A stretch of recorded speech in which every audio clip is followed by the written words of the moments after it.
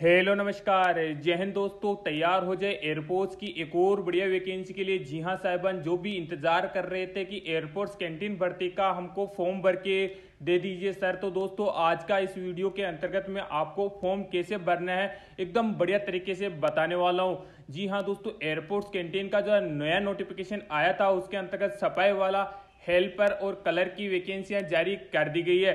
जो tenth pass candidate है, वो भी इसमें आवेदन कर सकते हैं। आपका कोई भी एग्ज़ाम नहीं होगा। साथ ही साथ ऑल ओवर इंडिया कैंडिडेट इसमें अप्लाई कर पाएँगे।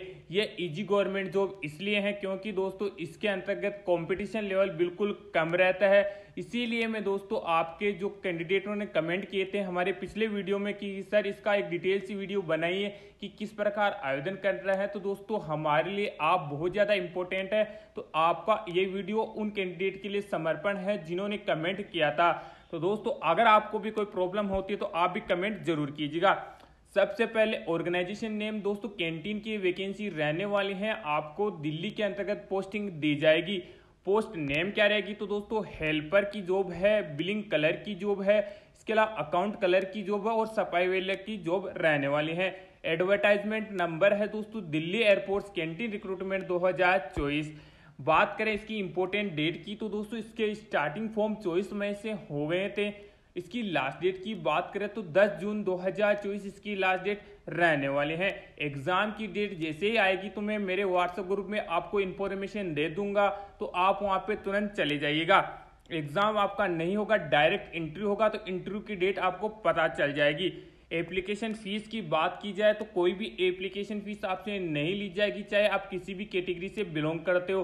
तो बिना किसी फॉर्म दोस्तों, आपको अगर फ्री में आपको एप्लीकेशन फॉर्म मिल रहा है भरने के लिए तो आप ज़रूर इसमें आवेदन कीजिए। वो भी फ्री ऑफ़ कॉस्ट आवेदन आपको कहाँ से मिलेगा, वो भी आपको मैं बता दूँगा कि आपको फॉर्म फ्री ऑफ़ कॉस्ट कहाँ मिलेगा। बात करें आपका सिलेक्शन प्रोसेस किस आधार पर रहेगा तो दोस्तों, आपका सिलेक्शन प्रोसेस रिटर्न एग्ज़ाम नहीं होगा इंटरव्यू के आधार पर रहेगा डॉक्यूमेंट वेरिफिकेशन होगा और मेडिकल एग्ज़ाम के आधार पर आपका सिलेक्शन होने वाला है। यानी दोस्तों, आपको बढ़िया जॉब मिलने वाली है। इसके अलावा डॉक्यूमेंट्स की भी चर्चा कर लेता हूँ कि डॉक्यूमेंट में क्या क्या मांगा जाएगा और क्वालिफिकेशन की भी चर्चा कर लेंगे। तो दोस्तों, जो भी कैंडिडेट फॉर्म भरना चाहते हैं, उनको मैं बताना चाहूँगा कि आपको फॉर्म ऑफलाइन फॉर्म भर के भेजना होगा।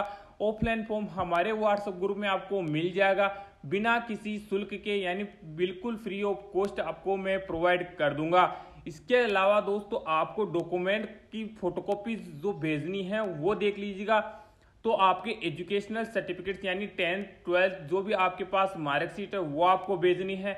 जन्म प्रमाण पत्र के लिए टेंथ की मार्कशीट आपको भेजनी है। इसके अलावा मूल निवास और जाति प्रमाण पत्र की फोटोकॉपी आपको लगानी है। आधार कार्ड या वोटर कार्ड की फोटोकॉपी आपको लगानी है। अगर आपको कोई भी एक्सपीरियंस है आज तक तो वो आप भेज सकते हैं और एक अतिरिक्त पासपोर्ट साइज़ की फ़ोटो भी आपको साथ में भेजनी है, ताकि जब आपका एडमिट कार्ड बनेगा कोलेटर बनेगा तो उसके ऊपर आपका ये फ़ोटो लगा दिया जाएगा। आपको दोस्तों लिफाफा किस प्रकार बनना है, वो भी बताऊँगा, आवेदन किस प्रकार करना है, वो भी आपको मैं बताने वाला हूँ। बात कर लेते हैं दोस्तों आपको सैलरी और दोस्तों योग्यता क्या क्या मांगी जाएगी। तो हेल्पर की पोस्ट के लिए आपकी एज 18 से 32 साल होनी चाहिए। वेतन आपका लगभग दस हज़ार रुपये दिए जाएँगे। योग्यता सिर्फ़ दसवीं पास आपकी होनी चाहिए। बिलिंग कलर की पोस्ट के लिए आपको पाँच हज़ार पाँच सौ से अठारह हज़ार रुपये मिलेंगे। बारी पास होना चाहिए। आपको और हिंदी और अंग्रेज़ी में 25 की या 30 की स्पीड आपकी टाइपिंग में होनी चाहिए। बात करें लेखा सहायक के लिए, इसके लिए भी अट्ठारह हज़ार रुपये मिलेंगे और बीकॉम और कंप्यूटर का ज्ञान आपको होना चाहिए। सफ़ाई वाले की पोस्ट के लिए दस हज़ार रुपये मिलेंगे और पाँच ही पास आपका होना ज़रूरी है। इसके लिए आपको दोस्तों लास्ट डेट है दस जून, उससे पहले पहले फॉर्म को भेजना होगा। फॉर्म किस प्रकार का भरना है, वो देख लीजिए दोस्तों इजी तरीके से एक ही पेज आपको भर के भेजना है। तो एप्लीकेशन फॉर्म में आपको लिखा हुआ ऑलरेडी मिलेगा to run canteen 27 ED Air Force school Pahladpur New Delhi वाला। इसके अंतर्गत आपको राइट साइड में सबसे पहले आपको फ़ोटो पेस्ट करना है और उसके ऊपर आपका सिग्नेचर कर देना है। उसके अलावा दोस्तों, बात करें इसके अंतर्गत दो एप्लीकेशन फॉर द पोस्ट है। अगर आप हेल्पर के लिए फॉर्म भरना चाहते हैं तो हेल्पर लिख दीजिएगा। कैटेगरी आपकी लिखनी है, यानी ओबीसी कौन सी कैटेगरी में आप फॉर्म अप्लाई करना चाहते हैं? उसके बाद में आपको name in full block letter के अंतर्गत भरना आपका नाम, मैं बोलना चाहूँगा कि आप पूरा फॉर्म ही दोस्तों ब्लॉक लेटर के अंतर्गत भरे ताकि दोस्तों अगले वाले पे इंप्रेशन थोड़ा अलग जमे। उसके बाद में आपका फादर नेम आपका मेल या फीमेल कैटेगरी लिखनी है डेट ऑफ़ बर्थ लिखनी है, जो आपके टेंथ की मार्कशीट में दर्ज है। उसके अलावा दोस्तों प्रेजेंट एज आपकी दोस्तों एज कितनी हो जाएगी क्लोजिंग डेट के अनुसार, यानी ग्यारह जून तक आपकी एज कितनी हो जाएगी, वो एज काउंट करके आपको लिखना है, जिस प्रकार मैंने लिख रखा है, जैसे twenty three year six month twenty three days इसके अलावा आपका मेरिटल स्टेटस सिंगल हो या मेरिड हो, उसकी जानकारी देनी है नेशनलिटी में आपको इंडियन कर देना है, साथ ही साथ रिलीजन भी इसमें लिखना है और आगे आपकी कैटेगरी लिखनी है.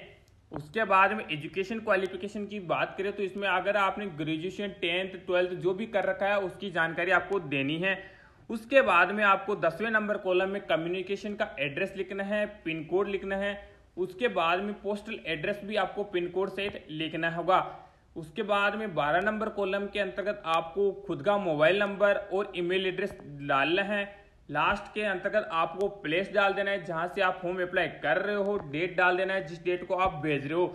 उसके बाद में सिग्नेचर ऑफ़ एप्लीकेंट में आपका सिग्नेचर कर देना है। ये काम हो गया, यहाँ पे खत्म। अभी आपका एक काम लास्ट में बच गया, आपको लिफाफा भर के भेजना होगा।